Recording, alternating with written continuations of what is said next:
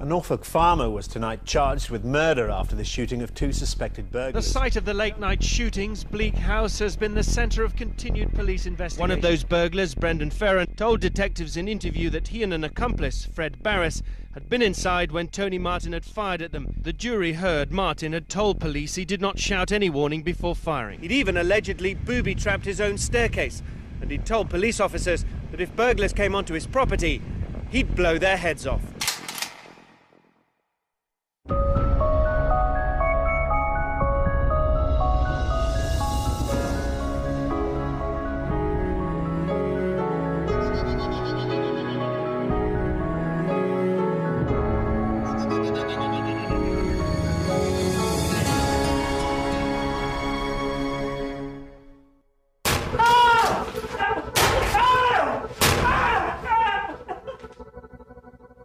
Was a simple burglary that went tragically wrong. The three shots that rang out in this farmhouse saw a 16-year-old boy killed, a middle-aged burglar wounded and a farmer imprisoned.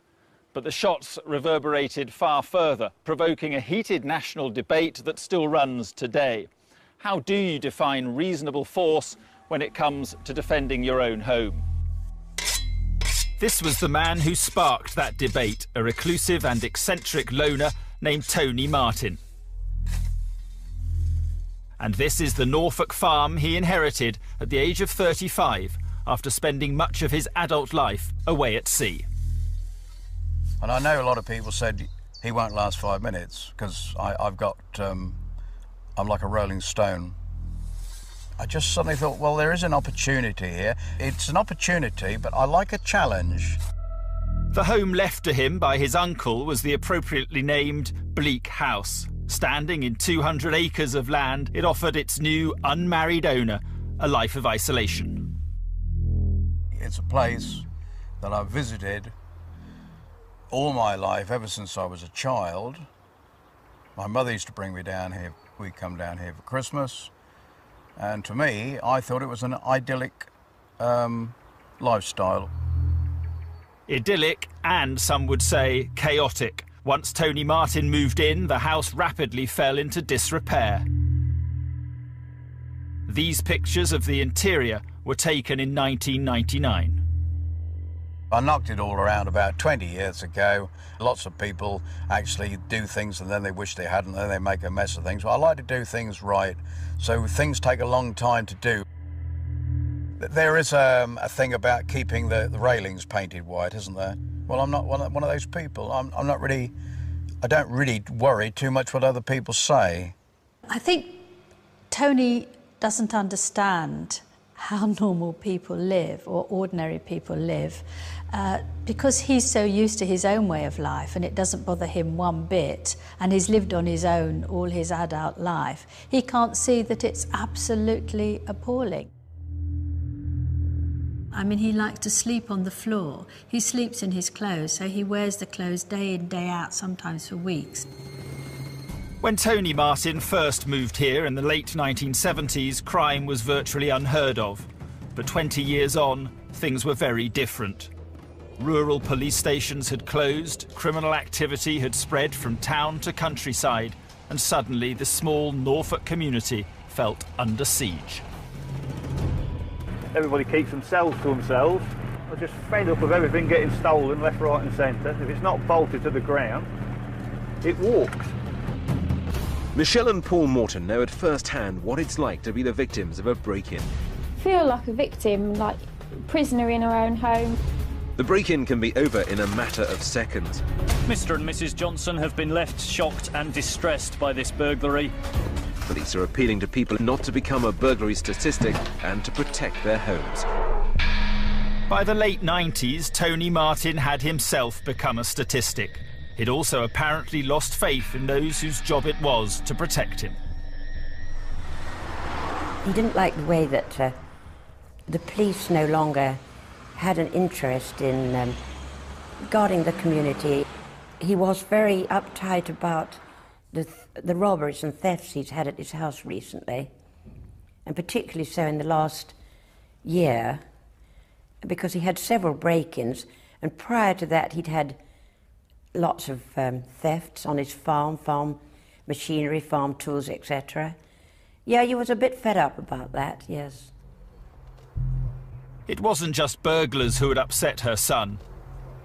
Some time earlier, he had had a run-in with suspected trespassers on his land. I asked him again, who are you? And he wouldn't tell me. And I said, right, I want you to leave. Anyway, one thing led to another, going to a hell of an argument. And he said, I don't like you. And in the end, I fired at the back wheel of his vehicle and off he went. As a result of this incident, Tony Martin had his firearms licence revoked.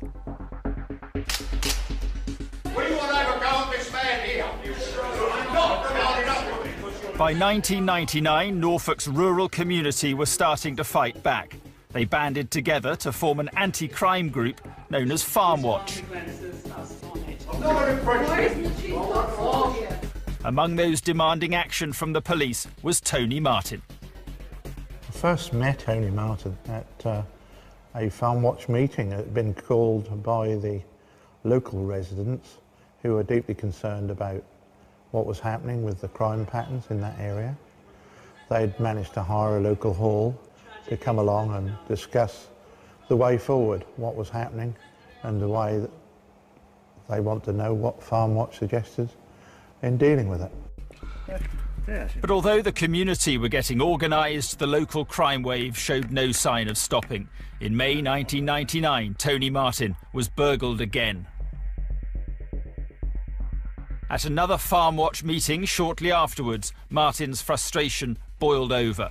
He was overheard saying, You know the best way to stop them? Shoot the bastards. He added that if a particular team of burglars returned, he'd blow their heads off.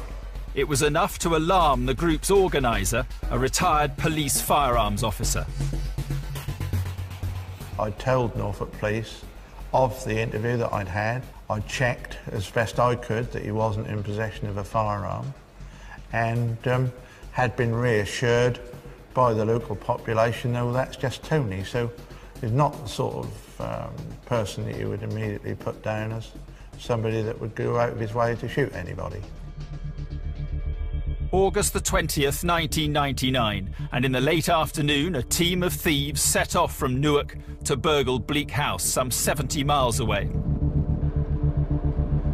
Their 32 year old driver, Darren Bark, a professional thief with more than 50 convictions.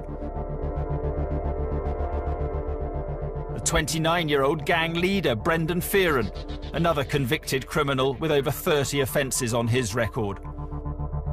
Both had robbed Tony Martin's farm just three months earlier. But today, joining them for the first time is a 16 year old boy, Fred Barras.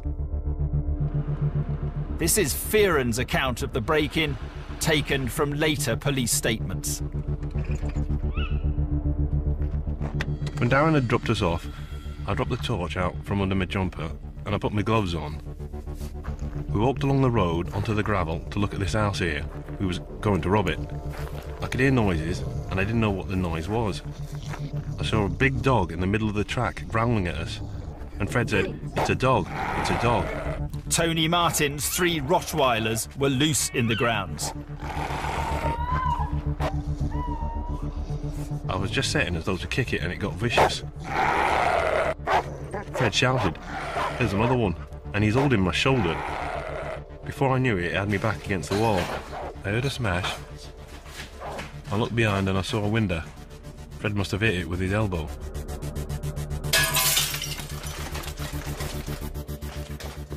I couldn't see nothing, even with my torch. Fell over a couple of times. There was a lot of dust all over the place. Cans, bottles, bricks, wood. I was feeling about for a window or a door and just seen a load of flashing.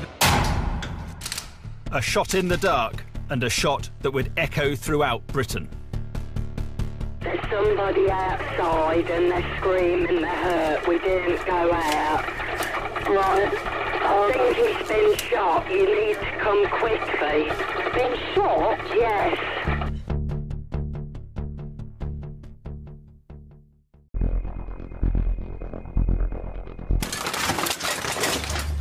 August the 20th, 1999, As burglars were breaking into his farmhouse, Tony Martin lay asleep on his bed. He was fully clothed, and an illegal pump action shotgun rested by his side.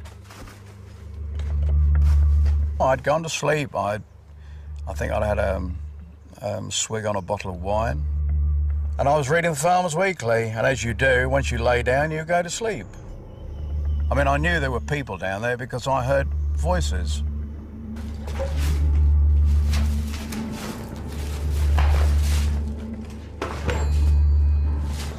But I went back into the bedroom. Then I went, I mean, I think it's a natural thing. I went to the furthest point of the bedroom, furthest away from the door.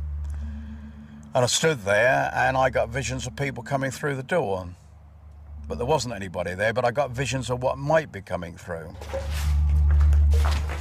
Anyway, I stood at the furthest point behind the bed and I kept on thinking about it. And um, they say it's not possible, but I know it is. I could actually hear my heart beat, you know, like one of these Hitchcock thrillers, and you get this boom, boom, boom.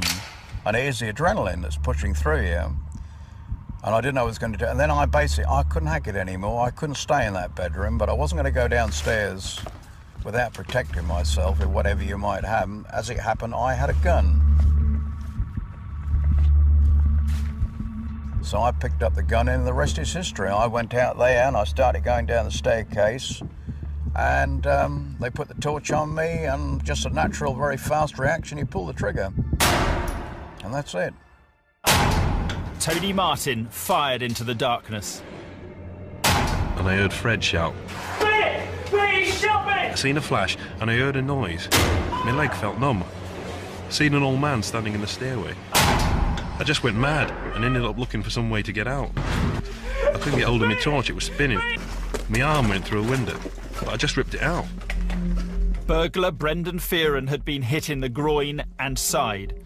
With nearly 200 shotgun pellets in his body, he dragged himself across the fields.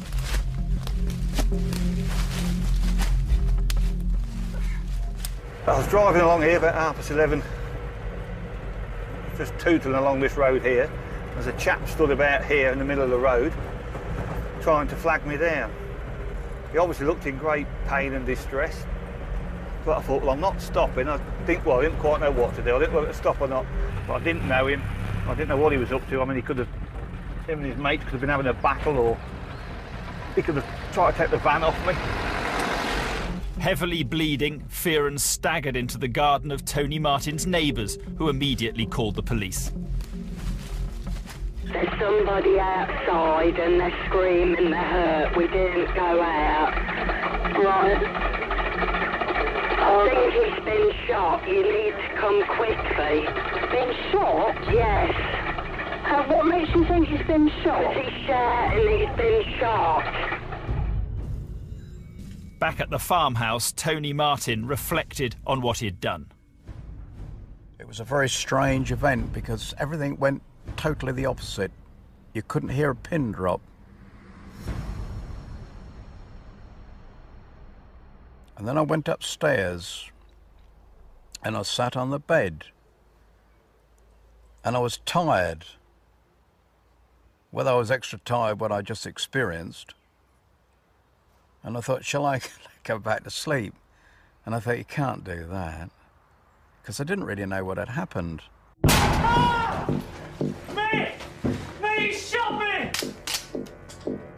So anyway, I picked the gun up. I was going to leave that in the house. Because the type of person that would have come in that house, they, they could easily have come back. They could have still been in the house for all I know. Anyway, I worked my way through the house in the dark. Got outside. I found myself a torch.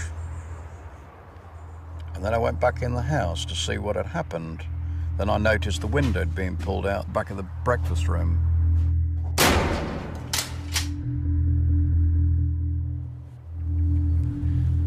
Tony Martin had no idea when he opened fire that he'd killed someone.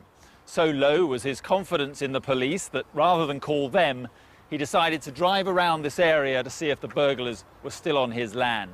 Finally, taking his gun with him, he drove to the sanctuary of his elderly mother's house.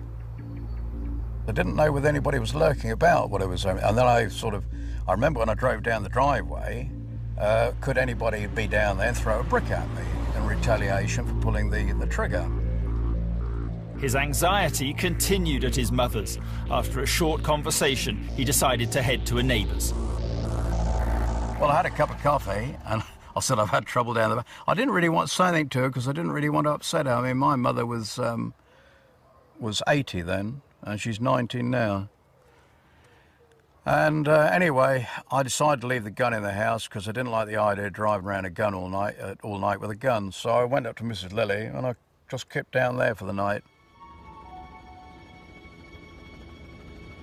When burglar Brendan Fearon was picked up and taken to hospital, he didn't tell the police that he had an accomplice. From Fearon's perspective, he was a burglar and had gone on a burgling mission that had gone wrong.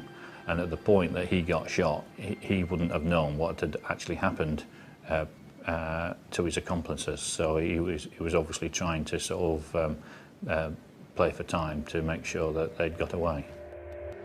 But his account was enough for the police to arrest Tony Martin at his friend Helen Lilly's hotel. It was 6 a.m., and Martin himself still had no idea he'd shot anyone. Well, I was picked up. He said, We're now actually um, questioning somebody, but he's now under sedation.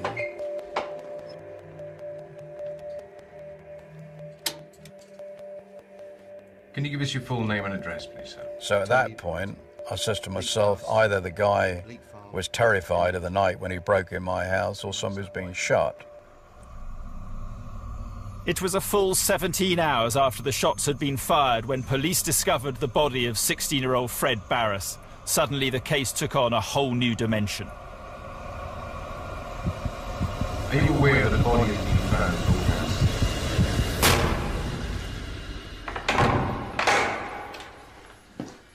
It was a murder investigation, um, but it was also a burglary investigation at the same time. Uh, now that sounds a little bit contradictory, but at a very, very early stage, I had a close working relationship with the Crown Prosecution Service, and it was obvious that in the interest of fairness, we had to follow both separate paths. And the, the death of Fred Barras was treated as a murder investigation, but clearly Tony Martin was a victim at the same time. In the case of Tony Martin, the police had to decide whether, in shooting the two burglars, he had acted with reasonable force while defending his home. Their first stop, the crime scene.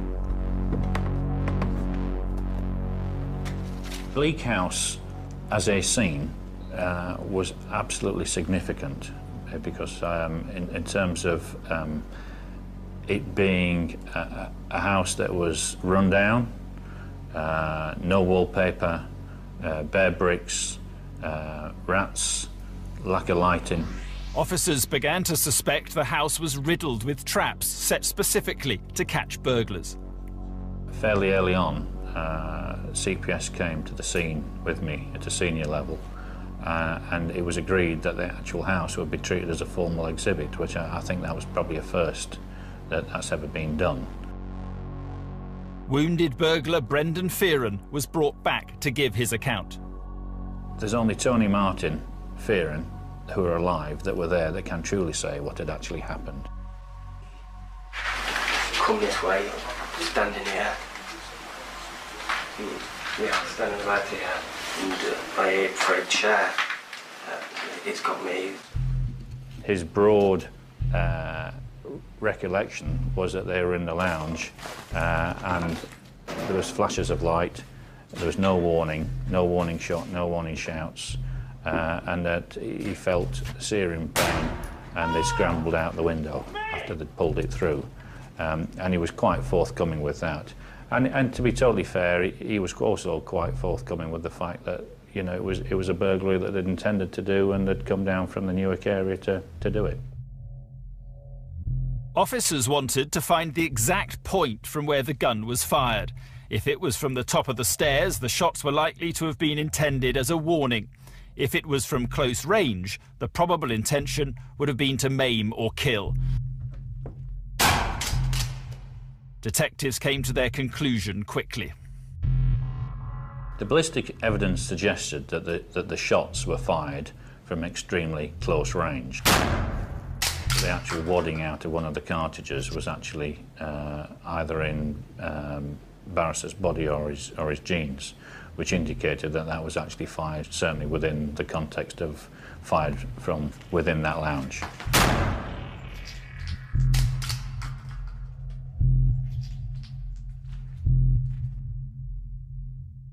The used cartridges that were exited to the right of the gun when its pump action was fired were in a cluster around the fireplace. Plus there was firearms residue on the walls near the window and so forth. So, so all, all the forensic evidence and all the ballistic evidence, you know, suggested that that incident had taken place within the lounge and that he couldn't have been at the top of the stairs. With this evidence, the police were able to charge Martin with the murder of Fred Barras, the attempted murder of Brendan Fearon, and the possession of an illegal hand weapon. After three days in police custody, the 54-year-old farmer was brought before Kings Lynn Magistrates Court to face two charges. During the 10 But the prosecution provoked instant public disquiet. If he wasn't there, he wouldn't have been shot. It's as simple as that, as far as I'm concerned. But once they um, trespass on your property, then they uh, run their own risks of whatever happens. The fact that he could be charged with murder seemed beyond possibility. And um, he was very fearful. He said that he, he, his initial reaction was fear, self preservation, and anger, and that um, he grabbed his shotgun and, and fired in the darkness. And I don't think he realised the momentum that that would um, instigate. His 16 year old victim was buried in Newark almost three weeks after the shooting. Family and friends of young Fred Barras are deeply upset by his untimely death. They ask that they be left to bury Fred with dignity and allowed to mourn privately. They are waiting for the true facts to be established and for justice to prevail. Seven months later, on the 19th of April 2000, Tony Martin's trial started at Norwich Crown Court. The crux of the case what constitutes reasonable force in defending your home? It was a question all the media had seized upon. I mean, the fact is, it was a huge story. Um, you know, one of the big stories of many big stories I've been involved with. With Tony, of course, it was a worldwide interest because even in America, a lot of people had tremendous sympathy for him. You know, the, the usual kind of media frenzy that uh, builds up around a massive case like this, which there was so much um, public interest in and so much public support for him. But in the court, there was at least one group with no sympathy for the defendant. I was there every day during the trial and uh, I was liaising with the uh, family of uh, Fred Barras. It is fair to say that, as with any family, having lost uh, a lad that was only 16, it had a significant effect, you know, and, uh, and regardless of what anybody writes or says about them or the case or whatever, it mustn't be forgotten that, that he was a 16-year-old boy uh, and he was dead well before his time. Tony Martin, my client, is a simple gentleman farmer. At the trial, Martin's team argued self defence, portraying him as a victim of crime. Scared and alone, he'd picked up a gun to protect himself. The prosecution case was that having been disturbed by the burglars, Martin had lain in wait, then shot them at close range with the intention of killing or seriously injuring them. You went out, you held your gun, and you shot a 16 year old boy. And you shot a 16 year old boy. Martin's team was headed by Anthony Scrivener QC. He was very shy, but underneath it all, I thought he was a very decent man. One of my main concerns at that time was whether or not he would be able to convey his real personality through to the jury, because in a self-defense case, everything really depends on the defendant. On the night in question, he was simply protecting his property. It wasn't until you looked into the detail of the case that you suddenly realised there were unusual features here that made it much more difficult. The going around making these speeches uh, here public, in front of the public, saying he'd kill a burglar on his house way before this ever happened. It made it an unusual case. In fact, no, there was no shout, no, no, no caution. He just shot three shots into the darkness when he knew that someone was nearby. Tony didn't do himself any favours. And I think people found that perhaps the jury found he'd got no compassion for the boy that was shot. But it, that's not necessarily true. I think he had the compassion, but he still couldn't understand why he was in that position facing a jury when in fact they could have come over and killed him and he would be the victim. Martin believed that as he was the victim of crime, the jury would be sympathetic towards his actions, but he was wrong. By a majority of 10 to 2, they convicted him of murder and wounding with intent to endanger life. When the jury returned the verdict, I think he was very distressed. He still thought in the back of his mind he'd be all right because a jury, English jury, is not going to convict a man who shot a burglar. The police had faced a barrage of criticism for bringing charges against Martin. Tony Martin, the Norfolk farmer who opened fire on two burglars who broke into his isolated farm, was found guilty today of murdering the teenager Fred Barras. But as he began his sentence, they felt vindicated. Burglary, and in particularly the burglary of people's houses, is, without doubt, one of the most despicable crimes that there is. But I would stress to everybody, it's up to the police and the criminal justice system to resolve it. I was very, very satisfied that professionally as a team um, we'd been vindicated. Um, I think there were certain times uh, during the early part of the trial that because of all the media and public frenzy, um, I had a fear that it almost didn't matter what the evidence was, that, that there, there, was so much um, view that he was innocent that we're almost having fighting an, an uphill battle. But, but clearly, I think that does indicate two things. One is the, the fairness of a Norfolk jury, and the other is actually the strength of the evidence that despite that prejudice and despite that public sentiment, that we, we still got the evidence home. But was the evidence as conclusive as the jury believed? A year later, Martin was back in court launching a new bid to overturn their verdict. Jailed for life, Tony Martin came to the Court of Appeal today to begin his bid for freedom. His lawyers say they have important new evidence. This is his one shot at uh, seeing justice done and being released.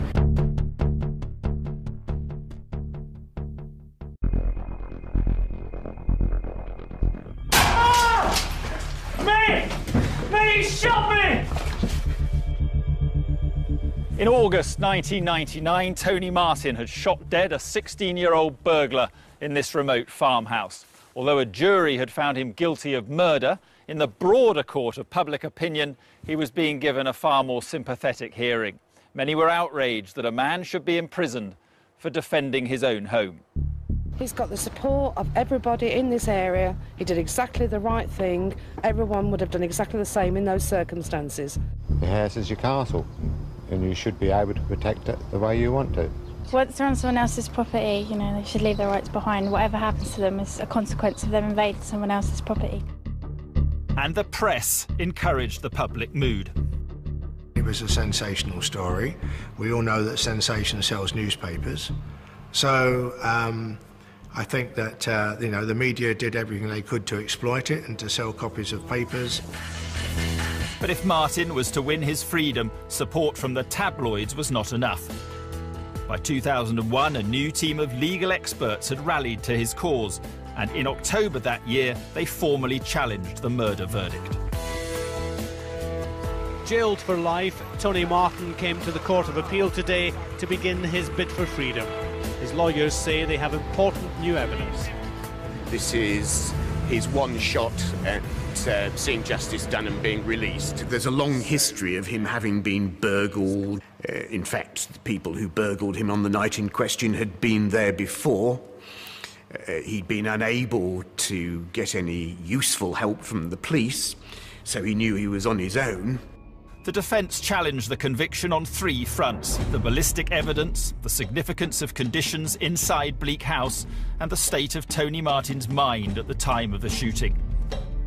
First, they sought to show that the shot that killed Fred Barras had not necessarily been fired at close range, as the police had claimed. At the trial, prosecution really relied on him having to have shot round a wall. That simply wasn't true, and his position was crucial. If he'd been in bed, heard a noise, came out in panic and an instant reaction, shot from the stairs, then um, that's a presentation to the jury of self-defence. If he's waiting downstairs lying in ambush, that's something very different indeed. That's revenge. We've been asked to do some tests just to see what effect the shotgun would have. David Dyson is frequently called on by the courts as an expert witness on gunfire. He demonstrated the effects on the human body of shotgun pellets fired from 12 feet away. Now we're going to use a shoulder of pork, which is the closest thing we can get really to human tissue. 12 feet is the estimated distance Tony Martin would have been standing from Fred Barras if he had fired from the top of the stairs. The effect is similar to that of a gun being fired from much closer range. It's a common misconception that shotgun pellets spread out dramatically as soon as they leave the barrel. They don't. And for instance, at 12, 15 feet, you would only get a hole probably of about two inches. The prosecution had also argued that Tony Martin fired repeatedly from the bottom of the stairs, as this was where all three spent cartridges were later found. But as David Dyson showed, using the same gun, there may have been another explanation.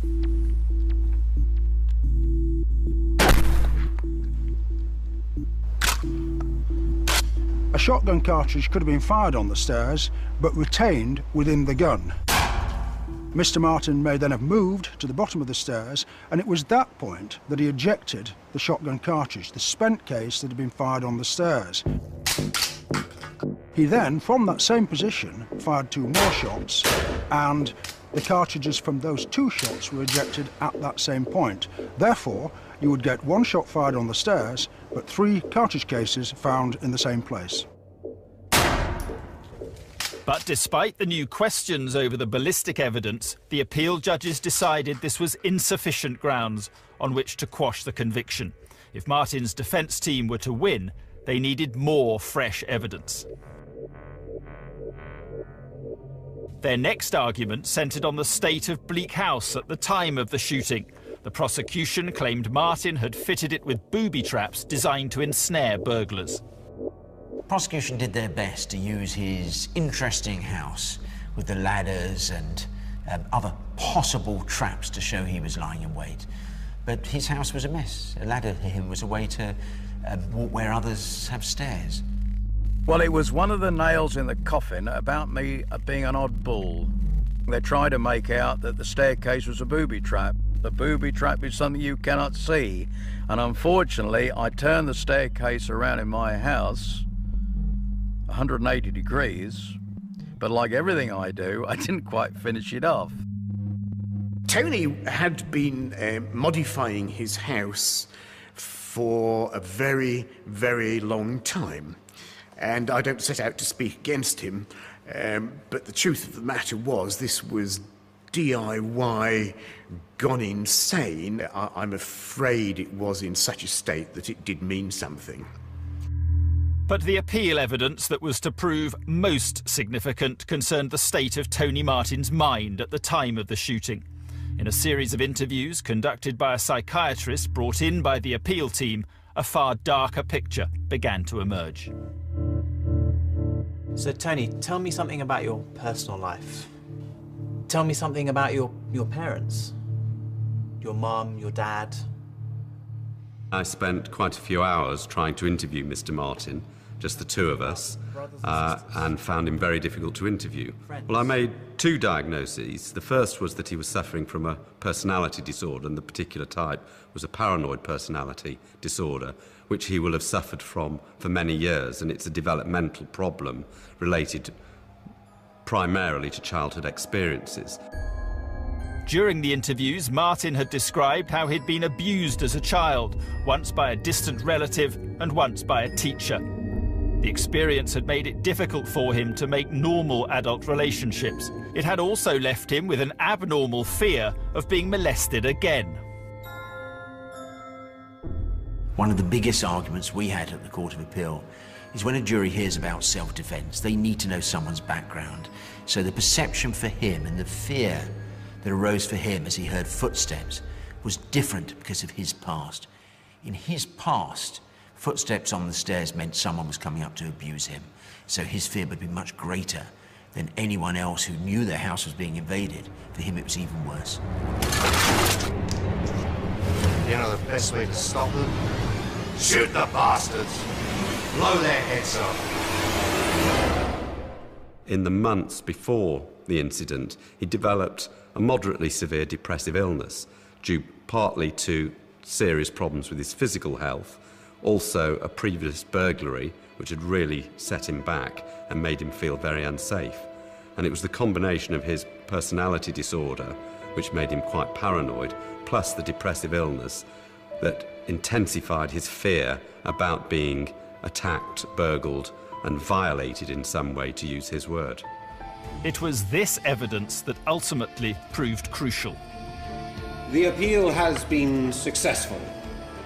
The conviction of murder has been dropped to one of manslaughter on the grounds of diminished responsibility. The court reduced Martin's sentence, but even after this judgment, he still had another 12 months to serve.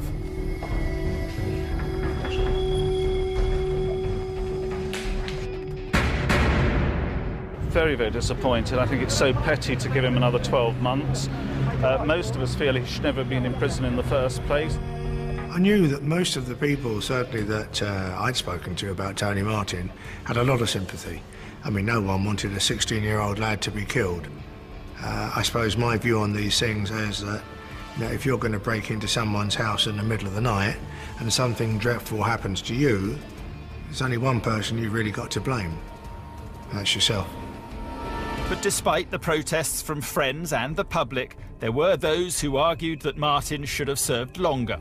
For the police, the final verdict is still difficult to accept. I'm totally satisfied in, in my own view that the, the actual actions that he committed on the night uh, were those of murder. Uh, by the same token, I think there are other elements in terms of uh, Mr. Martin's uh, personality and demeanour um, to make representations around diminished responsibility. For others, the fact that Martin never showed remorse for his crime was enough to keep him behind bars for longer. There are some people who said, well, how do you feel about killing a guy? When you're being broken in your house, it's an invasion. You are being invaded and he considered I was a danger to burglars. But actually, I'm not a danger to burglars walking down the road. It's when they come in through the window. On the 28th of July 2003, Tony Martin went free, returning to live at the farm where the shooting happened. But he soon learned of another court case, one that threatened the future of his beloved Bleak House. There was the possibility at one time that he could lose the farm in order to pay the compensation.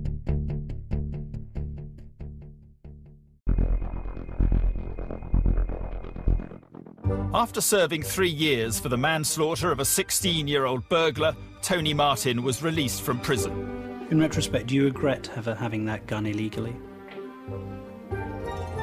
No. Fresh from his cell, he wanted to give his side of the story.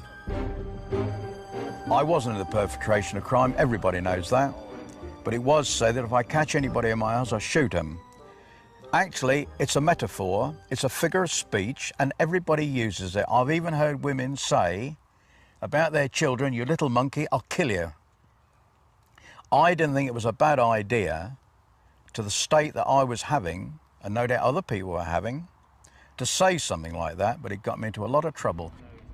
Rather than returning to obscurity, Tony Martin stayed in the news. He found himself being adopted as a figurehead for those demanding a change to the self-defence laws. I think the Tony Martin case lit a touch paper that has led to an explosion of anger and resentment of millions of law abiding British people who no longer feel that the state is on their side.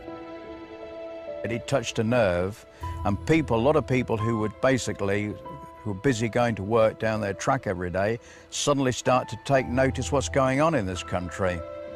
There was a groundswell of opinion, probably before Tony Martin, to try and broaden the defence of self-defence.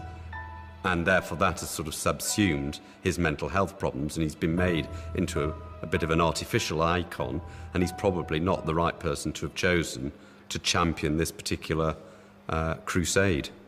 Well, I think he's an icon uh, for the great British public because he did what uh, an awful lot of them would like to do or think they would do if uh, they were in the same position, uh, if they were burgled and they'd got a tool in their hand.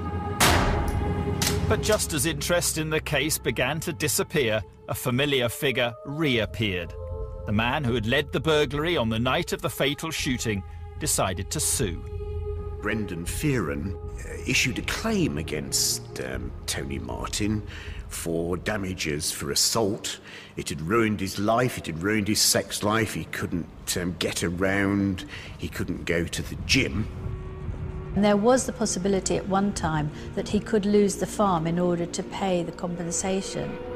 And people who are just uh, normal citizens who haven't had any trouble with the law don't know how to manipulate the law to help them to the best of their ability.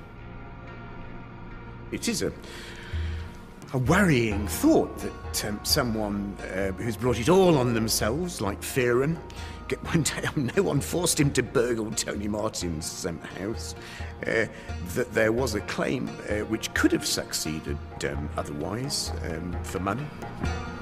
To the popular press, Martin was once again the real victim, and they were eager to help. I thought, God, we got another hurdle to cross, haven't we? I wasn't very happy about that. And that cost a lot of money, that case did. And I can thank the Sun newspapers for that. The readers in there raised enough money to cover that. These shaky pictures taken by an undercover cameraman show a man out walking his dog with no apparent injury. But the Sun newspaper went even further to help. After catching Fearon on camera riding his bike and seemingly fit and well, his demand for compensation was quietly dropped. In the years since his release, Tony Martin has continued to farm the land surrounding Bleak House. The house is boarded up with um, steel window shutters, and nature has taken over. It's extraordinarily bizarre place with trees and branches growing through the roof. I mean, it looks like something out of a, of a horror movie, or a Walt Disney horror movie. You couldn't actually couldn't get in even if you wanted to now. But the land is something that he really cares about. It's quite interesting because he's no longer a poor man. He owns about 200 acres of land in about six different locations, I believe. And land in Norfolk is quite valuable. But the debate over what constitutes a legitimate response in the protection of your home rages on. It doesn't need alteration of the law. Anyone who knows all the particulars about the case immediately says, well, we can't really found a new system of law on these facts. They're rather exceptional. But it seems to me that self-defence works in a very reasonable way, and, and the average juror understands it. I think it should be the balance of probability should be towards the homeowner, um, but everyone should, every case should be judged individually. You can't have people going round um, uh, killing people just because they're uh, on your property. Although I did discover in the course of um, this case that um, if you shoot a burglar dead in Texas, they give you 5,000 US dollars uh, as a present uh, for having done so. But um, I personally don't support that. Finally, in the 2008 Criminal Justice Act, the government redefined the laws on self-defence to give greater legal protection to those protecting their own property. Many question whether Tony Martin would be prosecuted were the same to happen today. I think they look more carefully now. Tony Martin was that rare creature, a popular defendant. And generally, the public do not want householders prosecuted if they can imagine that they would have acted in precisely the same way themselves. In the same circumstances. I think it's in I think it's in its all. You are going to do something. You're either going to pick up a hammer, um, I don't know, knife or whatever. You're going to do something.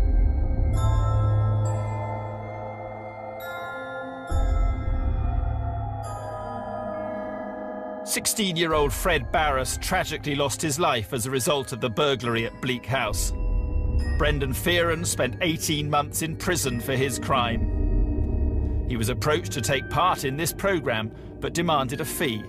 We declined. But it is the name of farmer Tony Martin that remains etched on the national consciousness. I'd rather be better known for something else.